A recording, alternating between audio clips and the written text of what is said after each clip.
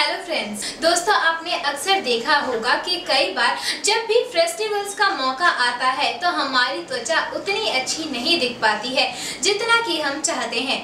इस साल में आने वाली दिवाली को अच्छा बनाने के लिए और अपने आप को खूबसूरत बनाने के लिए आपको बहुत सारी चीज़ें करने की ज़रूरत नहीं है। आज मैं आपकी दोस्त को बताऊँगी कुछ ऐसे आसान से तरीके जो इस दिवाली पर आप ट्राई कर सकती हैं और दिवाली पर अपने आप को दियो जैसी जगमगाती हुई पा सकती हैं।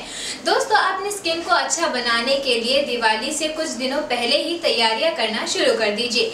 अपनी बॉडी पर वैक्स करवा लीजिए आईब्रोज बनवा लीजिए और अगर आपको बॉडी पॉलिशिंग करवानी है तो वो भी करवा लीजिए, क्योंकि आखिरकार दिवाली साल में एक ही बार आती है।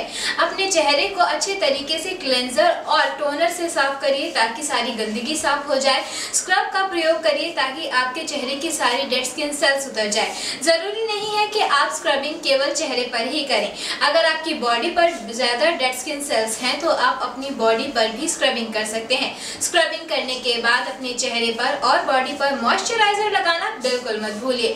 दोस्तों, ये कुछ ऐसे आसान से तरीके हैं जो दिवाली के दिन पर बिना मेकअप किए हुए भी आपको काफ़ी ज़्यादा दमकता हुआ दिखाई देंगे। तो इन्हें ट्राई ज़रूर करिए। मेरी ब्यूटी और हेल्थ से रिलेटेड वीडियोस को देखने के लिए यूट्यूब पर लाइक शेयर और सब्सक्राइब कीजिए।